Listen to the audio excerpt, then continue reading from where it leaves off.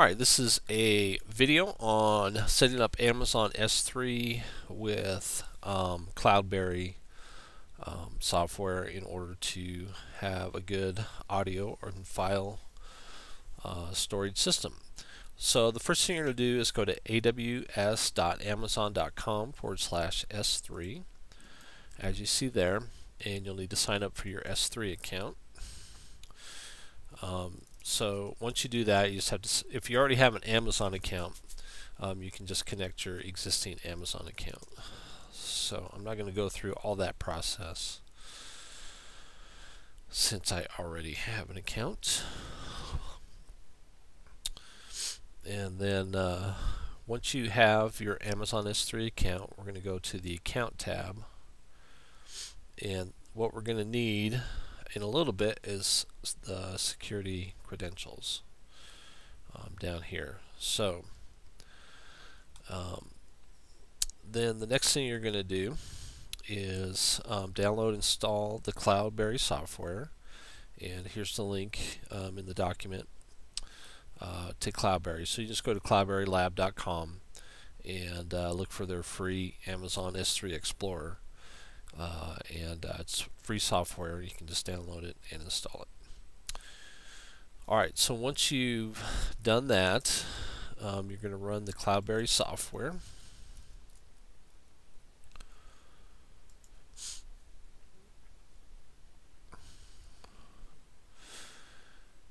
And you're going to want to add your um, these back to default. You're going to add your new account. So you're going to go to File, Amazon S3 Accounts. Um, actually, I don't have that in the view of the recording. Let's get this in the view here. So this is Cloudberry. You're going to go to File, Amazon S3 Accounts. You'll add your new account. Um, when you do, it's going to ask for the display name and then the access key, which is um, this right here. So you highlight that and copy and paste that in and then your secret key. So you got to click show here. That'll show the secret key. Can you highlight it? Right click, copy, paste that in. Uh, so that's all the settings you need there. Click OK. There's your uh, new S3 account. So then what you can do here, you got two columns. You can go to this right column, select your S3 account, and um, I've got a bunch of buckets already. So buckets are just um, another way of saying folders.